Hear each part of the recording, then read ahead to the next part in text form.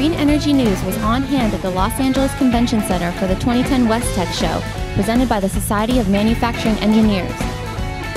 The WESTEC Show is an advanced productivity expo connecting manufacturing supply chain partners and showcasing the latest manufacturing technologies in the aerospace, medical, automotive, electronic, and renewable energy industries.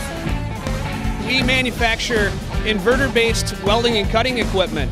Our inverter technology uses less power than conventional machines. They're more energy efficient and cheaper to operate.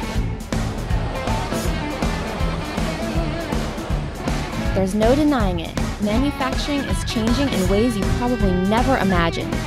New economic forces, advances in technology, emerging industries, and global markets have changed the face of the manufacturing industry in the United States.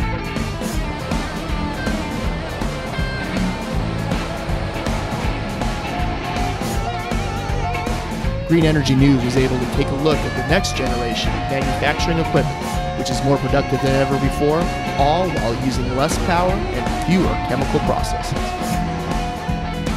Well, this is our flow water jet technology. Compared to other processes similar to this, like a plasma or laser, we're not using any heat affected zones, not any adverse environmental consequences, no fumes or any of those concerns.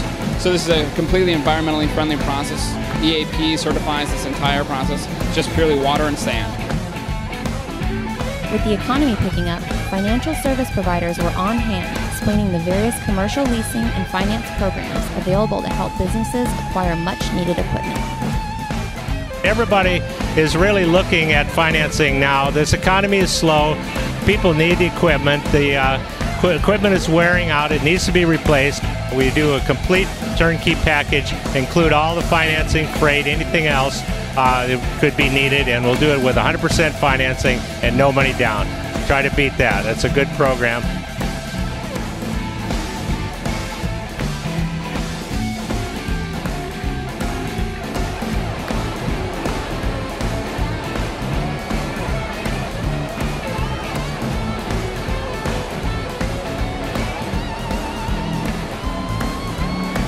Hi, I'm Dan with Pro Ultrasonics.